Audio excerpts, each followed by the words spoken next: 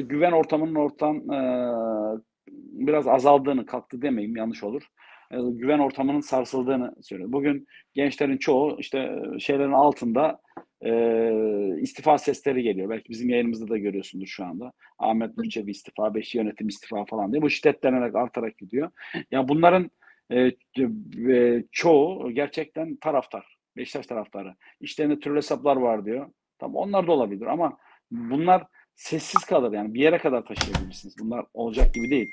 Adam taraftar ismiyle yazmış, cismiyle yazmış. Ha diyor ki bana hakaret ettiler, küfür ettiler, ediyorlar sosyal medyada, aileme ediyorlar. Biz bunun zaten karşısındayız. Yani değil Ahmet Nur Çebi Başkan'a, yönetimine, ailesine şiddetle karşıyız ama kim bunlar? Var mı gerçekten? Vardır. Varsa da türlü hesaplarsa bunların bulunması ya da e, gerçek hesaplarsa da bunların ceza verilmesi biliyorsun artık yasayla mümkün. İletişim Başkanlığı'na başvuruyorsunuz. Bunlara ceza verdirebiliyorsunuz. Gerçekten troll hesapsa kapattırıyorsunuz gibi olabilir. Ama filmin özünde şu var Ceyda. Şunu gördüm ben Beşiktaş'ta. Sayın Başkan'a da toplantıda sordum. Sayın Başkan'a dedim ki başkanım federasyonla kavga ediyorsunuz. Haklı gerekçeleriniz var. Anlaşılabilir bir durum. Hakemlerle ilgili geçen seneden beri bunlar gönderilsin dediniz. Hakemler geri döndü. Bunlardan sizden yana mağduriyetler oluşuyor. İşte gördük şey maçında, Pendik maçında yardımcı hakemin evet. hatasını gördük. Herkes kabul etti. Onlarla ilgili sorunuz var.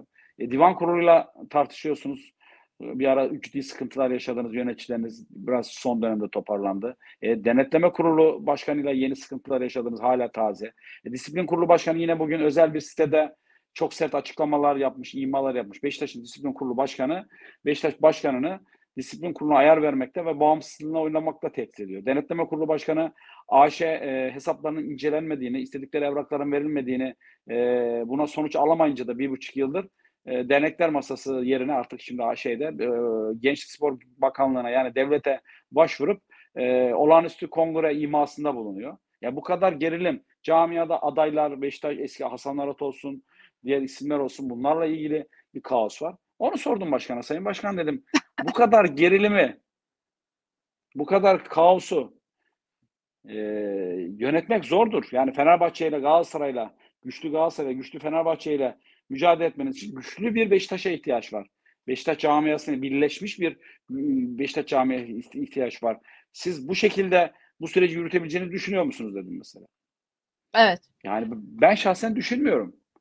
Bu bölünmüşlük varken, taraftar, yönetim e, bölünmüşken, e, kurullar birbiriyle konuşmuyorken, e, adeta birbirine laf sokmak için yaparken, bu bütünlük yokken Beşiktaş nasıl olacak da rakipleriyle mücadele edecek, rakipleriyle şey yapacak? Burayı nasıl toparlayacaklar? Bu iletişim stratejisiyle net söylüyorum. Sayın Ahmet Nur bu iletişim stratejisi bunu yapanlar Beşiktaşlı mıdır ama dışarıdan birilerinden destek alıyorlarmış. Şirketlere para veriyorlarmış. Ee, Beşiktaş'ta olmadığın, olmayan isimlerin Beşiktaş'a dışarıdan e, başkana e, hizmet verdikleri iddia ediliyor. Doğrudur. Ama Beşiktaş'ın dinamikleri farklıdır. Ahmet Nurçebi Başkanı bence kaçırdığını konulardan biri şu. Kendini ifade etmediğini düşünüyorsa ve haksızlık yapıldığını düşünüyorsa kongre üyelerine de dönmesi lazım. Yani uzaktan olmaz. Eskiden başkan yardımcısıyken genelde köy içine inerdi. Ya köy içine insin bir, yöneticilerini görevlendirsin benim tavsiyem. Ya taraftar üzerinden okumasın bu protestoları. İnsin, bir de kongre üyeleriyle konuşsun. Kongre üyeleri ne diyor bu işe? Gerçek bu işin sahipleri ben kongre üyesine kongrede hesap veririm diyor ya. Mesela evet. bu doğru mantık, doğru kongre seçer Ceyda ama kongre üyeleriyle görüşsün. Yani eski gücünde ben dedi ki gerekirse olağanüstü kongreye ben götürürüm, meydan okurum, rakiplerimi de yenerim dedi. Ama ben eski desteği bulabilir mi? 20 sandık tek çıkabilir mi? Bundan emin değilim. Çünkü Beşiktaş kongre üyesi de, Beşiktaş camiasının önde gelenleri de gidişattan ve yönetimin verdiği mesajlardan memnun değil. Bunu düzeltebilir mi? Tabii ki düzeltebilir. Beş tane maç üst üste alırsınız. Camiayla zeytin dalı uzatırsınız. İnsanlarla e, buluşursunuz. Tekrar bir e, sorunları çözmek için hamleler yaparsınız. Bunlar aşılabilir. Şenol Güneş gibi elinizde bir değer var, bir yıldız var. E, ondan sonra e, bu değerin üzerine de bir futbolu inşa edebilirsiniz. Ama bunları düzeltmezseniz hala hatanın ve kusurun sizde değil, sizin yönetiminizde değil, iletişim dilinde değil, birlik beraberliğinizi bozan işlerde değil, dışarıda ararsanız, dış faktörlere top atarsanız bugün o sistemi yenilemediğiniz için sistem çöker, çöker. Ve bu yüzden de o zaman belki tedavi etmesi, düzeltmesi mümkün olmaz. Özür diliyorum. Yani e, YouTube, bu, bu ekranda, bu YouTube formatında çok uzun konuştum ama Yok e, estağfurullah. Buyur. Estağfurullah, estağfurullah Fatih Doğan. E, bunlar Beşiktaş taraftarının da zaten düşündüğü ve sorguladığı durumlar. Şimdi e, Ahmet Nur Çebi'nin e, transfere dair açıklamalarıyla birlikte Beşiktaş'ın transfer gündemini de e, konuşalım. E, başkan birçok transferle ilgili açıklamalar yaptı. Sizin de belirttiğiniz gibi işte Talişka ile ilgili açıklamaları oldu, Raşitsa ile ilgili açıklamaları oldu. E, transfer çalım sayılmaması ile ilgili. Ama diğer yandan Beşiktaş taraftarında ciddi bir beklentisi var. E, nasıl tersine döner kısmında transferde e, önemli bir rol oynayacak kalan günlerde artık sürede kısalıyor. E, ama isterseniz önce mevcut kadrodan bir başlayalım. E, Cenk'le ilgili açıklamaları oldu. E, Ahmet Nur Çebi'nin sözleşme uzatılması konusunda. E, yine e, takım içinde sözleşme uzatılmasını bekleyen futbolcular var.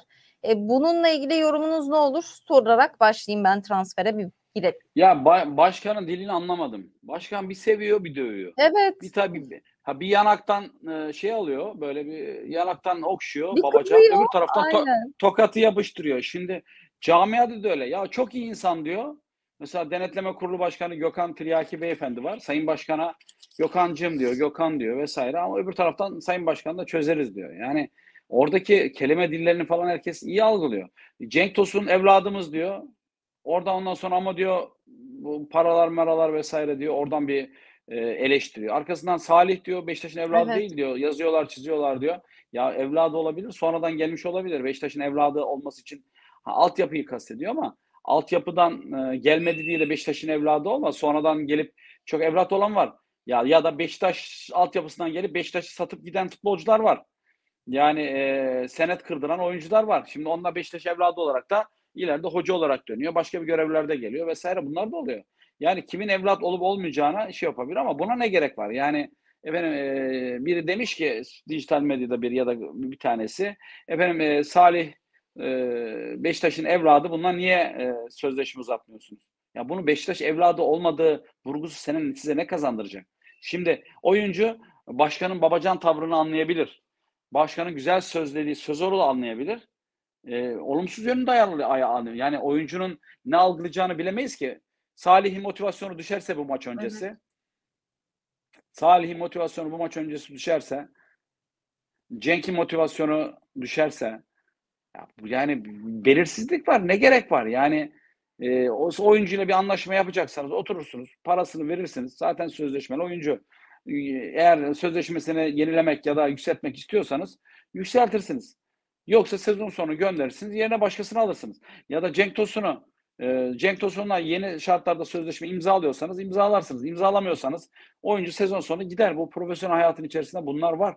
Kimse size neden diyemez. Ama ya tam bu süreçte hem e, yanağından okşayıp benim ve bizim evladımız deyip hem öbür tarafta evladımız değil deyip yani e, konuşmalarındaki bu süreç e, şaşırtıyor. Yani oyuncu tabii ben şahsen Kiev maç öncesi ya o, ortamın bozulmasından da endişe ediyorum. Bu maç öncesi bu açıklamalar için iletişim ekibini bilmiyorum. Yani e, bu karşılaşma öncesi ben şaşırdım. Yani başkan birikmiş, dolmuş. Belki birçok konu var.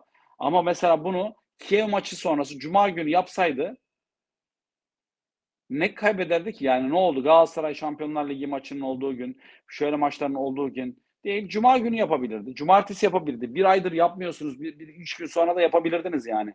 Yani birisi orada demedi mi Sayın Başkanım şu anda maçımız var iki gün sonra bekleyelim. Cuma günü ha perşembe olmuş ha cuma olmuş ama böyle maç öncesi bir sürü camiada polemik konusu oldu. Salih konuşuluyor, Cenk konuşuluyor, Hasan Arat konuşuluyor.